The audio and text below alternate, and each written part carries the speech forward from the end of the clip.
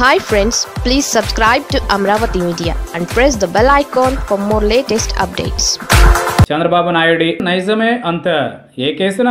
జమ్మూ కాశ్మీర్ మాజీ సీఎం. జమ్మూ కాశ్మీర్ మాజీ ముఖ్యమంత్రి ఒమర్ అబ్దుల్లా టీడీపీ అధ్యక్షుడు చంద్రబాబుపై ఘాటు వ్యాఖ్యలు చేశారు. చంద్రబాబు నాయుడి అవకాశవాద రాజకీయాలపై విమర్శలు చేశారు. మొన్నటి అసెంబ్లీ ఎన్నికల సమయంలో చంద్రబాబు తరఫున ఒమర్ అబ్దుల్లా తండ్రి ఫరూక్ అబ్దుల్లా ప్రచారం చేయడానికి ఏపీకి వచ్చారు.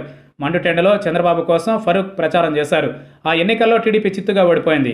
ఎన్నికల ముందు వరకు బీజేపీకి వ్యతిరేకంగా అన్ని పార్టీలను రెచ్చగొట్టిన చంద్రబాబు నాయుడు ఎన్నికలు అయిపోగానే తిరిగి బీజేపీ అనుకూల రాగం అందుకున్నారు.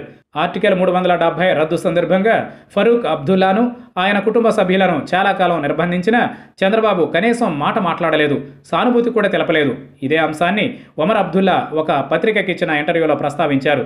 మొన్నటి ఎన్నికల్లో తెలుగుదేశం పార్టీ ఓడిపోతోందని జగన్మోహన్ రెడ్డి మొత్తం ఆక్రమించుకోబోతున్నారన్నది అందరికీ తెలుసునని అలాంటి సమయంలో కూడా తన తండ్రి సొంత పార్లమెంట్ ఎన్నికలను పక్కన పెట్టి ఏపీకి వెళ్ళి చంద్రబాబు కోసం ప్రచారం చేస్తారని గుర్తు చేసుకున్నారు.